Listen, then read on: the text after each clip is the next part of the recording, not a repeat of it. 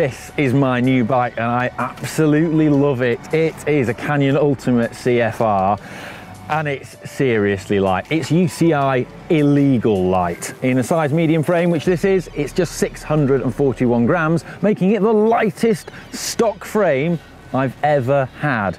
Now in this video, I'm gonna tell you all about it. I'm gonna go through all the features on the bike, why I chose it over a more aerodynamic one, and why I selected all the different bits, and I'm gonna weigh it. Before we go any further, I'm going to uh, take a picture of my bike and upload it to the Bike Vault in the GCN app. So you guys can vote whether you think it's nice or super nice.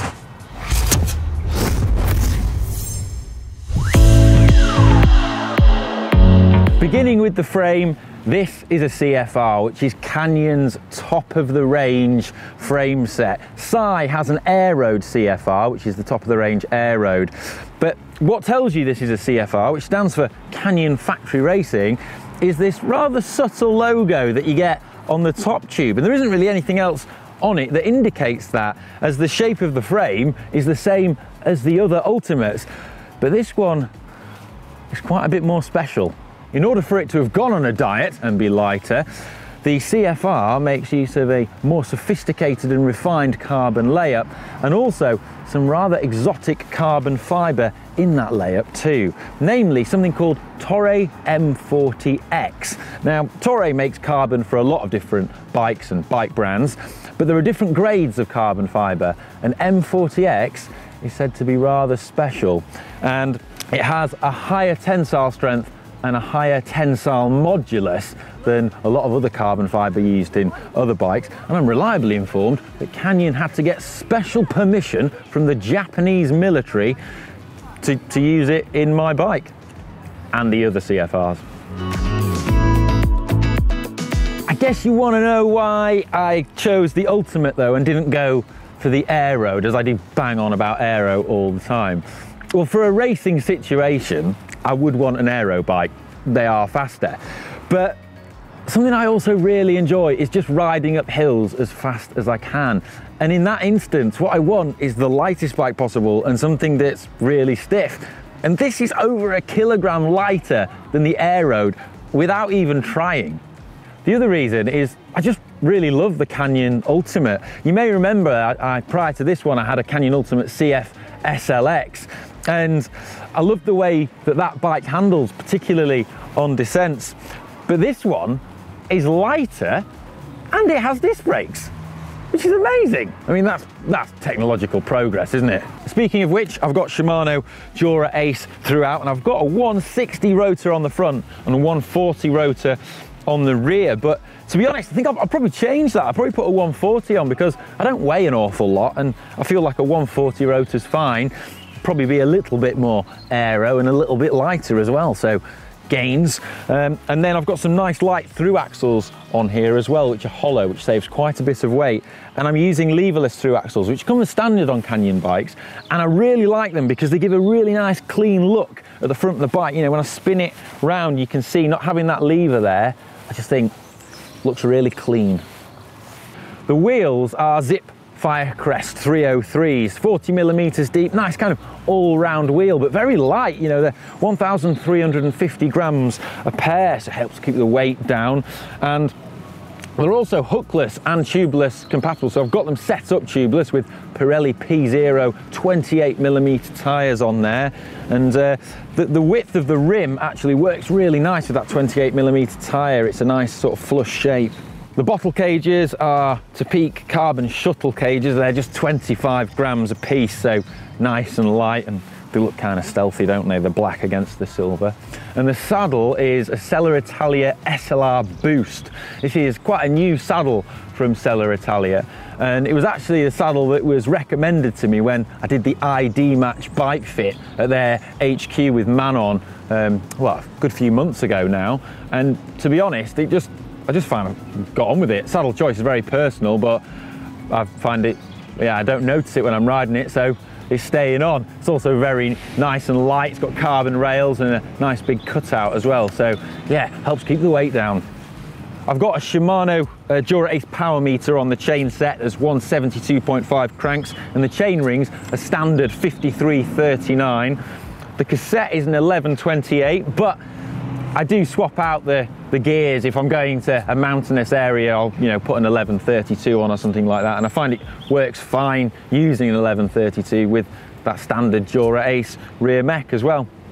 I've got Speedplay pedals on here, which I've been using for well over a year now, and I just find I, I, get on really well with them and just like the engagement and the fact that you can clip in on both sides, which is useful when you're a GCN presenter, as we often struggle to clip in. They're not even the super light ones either. They do some mega light titanium axled ones, but these are just the standard steel ones.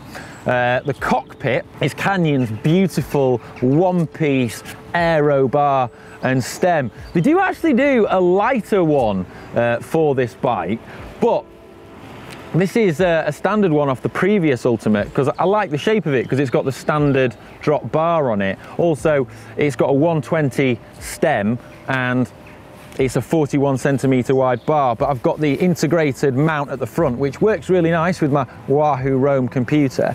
And you can see the junction box is tucked neatly underneath the well, underneath the stem, kind of like in the stem. You can see it there. So it's quite nice for sort of easy access if you need to charge your Di2 or check the level of your battery. I'm 185 centimeters and this is a size medium frame. And this size frame and how I've got it set up is what was recommended to me by the ID Match bike fit I had a few months ago. So as I mentioned, 120 uh, centimeter, uh, 120 millimeter stem, 120 centimeters. And then um, I've also got my saddle height, which is 755 millimeters. Although right now it's about 820 millimeters and that's because Alex Paton just borrowed this bike a second ago and I need to adjust it. I mean it looks ludicrous doesn't it?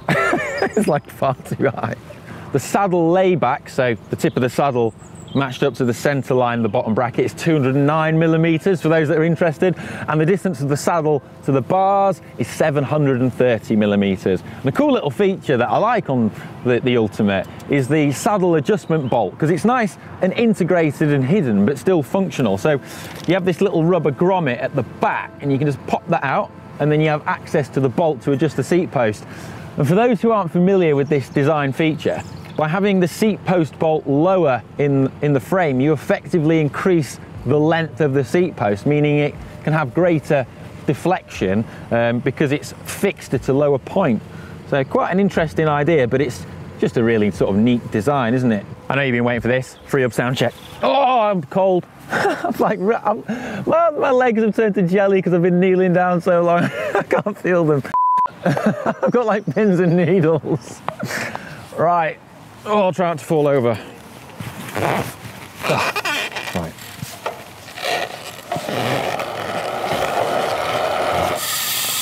Oh.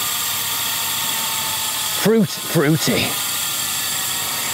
Now, having weighed this absolute weapon back at GCN Megabase, I can tell you that it's 6.4 kilograms, which is so light, but like, that's with everything that you can see on it here. So that's with the pedals and the head unit and the bottle cages on and everything, you know, it's fully functional.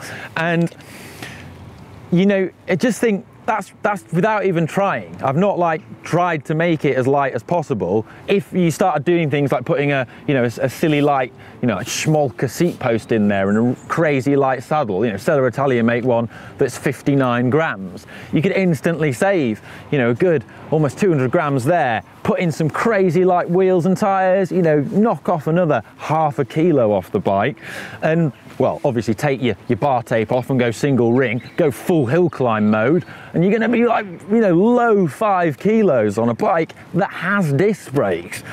It's insane. And I just think, you know, I just can't wait to ride up some mountains on it and yeah, perhaps even turn it into full hill climb mode. Sa Calobra beckons. I still want to go back there and ride up as quick as I can. So sub 30 on Sa Calobra. I'm hoping that this is the bike that's gonna gonna help me do it.